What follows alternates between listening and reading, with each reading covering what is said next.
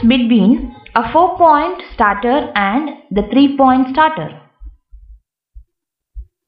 So the answer is the shunt connection in 4 point starter is provided separately from the line whereas in terms of the 3 point starter it is getting to be connected with the line which is the drawback in the 3 point starter.